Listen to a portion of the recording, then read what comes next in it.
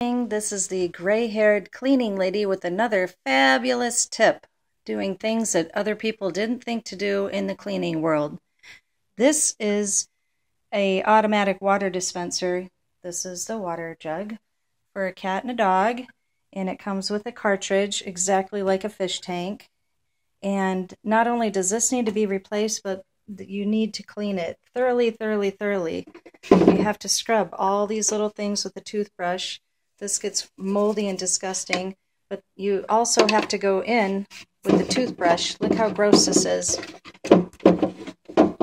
Sorry, I can't do two things at once. Anyhow, I, I'll pull the toothbrush out, put some water in, and look at Anyway, make sure you clean this automatic dog water thing thoroughly or your dog's going to be drinking all of this garbage. Have a very Barbie day.